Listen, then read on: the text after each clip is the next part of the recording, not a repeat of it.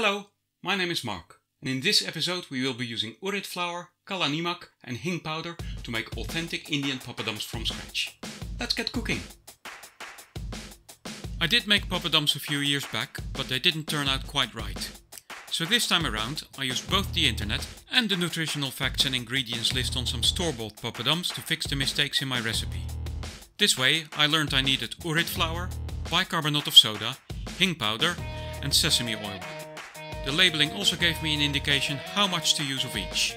For example, I found a recipe on the internet that used black salt, also called kala namak, and the packaging stated 3.23 grams of salt per 100 grams, so we're measuring out roughly 3.23 grams of black salt. A few recipes online called for papad khar. I looked it up and officially this is sodium benzoate, an alkaline salt with E number E211, which is also used as preserving agent. I've never seen any in shops, but I did find an article suggesting a mix of 1 part baking soda with 2 parts baked baking soda as a replacement. Keep in mind here that baking soda and baking powder are two different things. To bake your baking soda, simply place it in an oven at a temperature of 350 Fahrenheit or 180 Celsius for about an hour. For your papad khar mix, first measure out about 10 grams of baked baking soda. Then measure out roughly 5 grams of your box standard non-baked bicarbonate of soda. Mix the two together, then measure out approximately 5 grams of the combined mix. Keep the rest in a labeled jar for future use.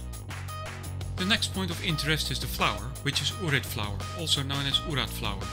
This is a big source of confusion due to the many ways in which it can be translated.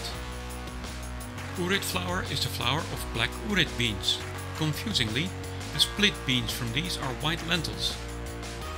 Although urid flour is sometimes translated as gram flour, and gram flour will just about work, the resulting papadums won't taste right.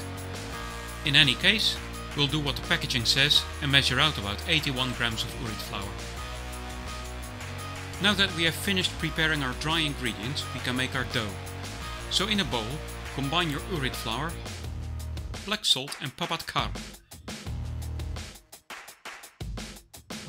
Add a teaspoon of hing powder and give it a good mix.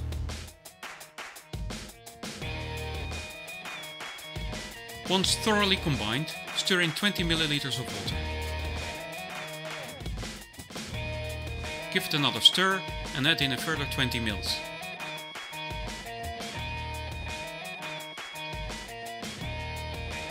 You should end up with a crumbly, sticky mess. This is the perfect time to add any spices for flavoring. I use cumin, but crushed black pepper, chili and garlic are also commonly used. Traditionally, the dough is rested for a few hours, then pounded and stretched for 8 to 10 minutes at this point, but you can also chuck it in a food processor straight away and process it until it comes together. It is a lot faster, a lot less effort, and it works equally well.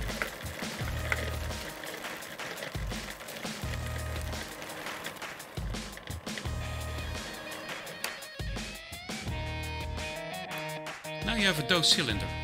Roll it out into a sausage shape and cut it into 6 equal pieces. Roll each piece into a bowl and coat it in a few drops of oil. Each bowl should weigh approximately 20 grams. Next we need to roll out our dough into very thin circles. A smooth, hard surface is ideal for this, so I dusted the bottom of a saucepan with flour and started rolling.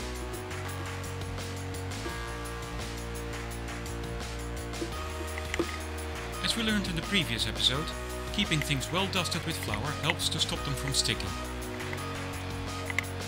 Conveniently, the diameter of my pen was just about right, a bit over 15 centimeters or 6 inches, allowing me to easily trim the edges to end up with near perfect dough circles. I could have traced my knife around the blade otherwise. Once all papadums are done, the traditional method states they should be dried in the sun. Sadly, where I live, this isn't always a viable option. Fortunately, there was a solution, and I have my biggest fan to thank for that.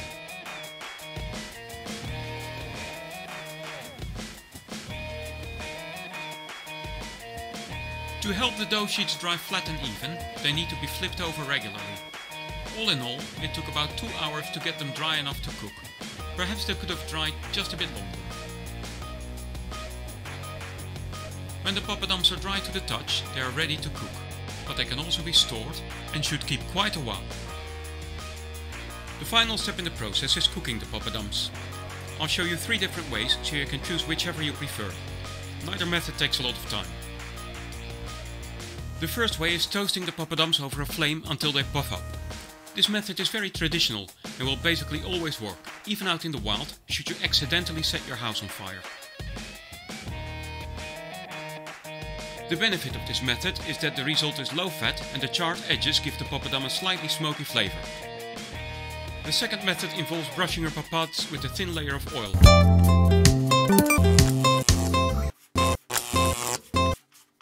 I really need to fix that thing. The second method involves brushing your papads with a thin layer of oil and then microwaving them on full for about a minute.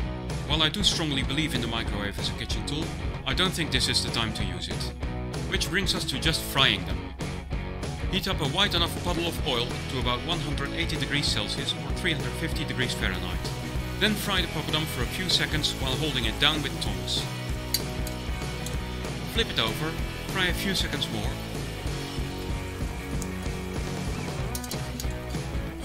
And drain on a paper towel. Then serve immediately. In my opinion this is the way to go. Consistently gives the best result and as soon as the oil is up to temperature it will be quicker than any of the other methods. And that is all. All we need now is a curry. And um, if you want to know more about the competition, stick around for the end titles. Bye!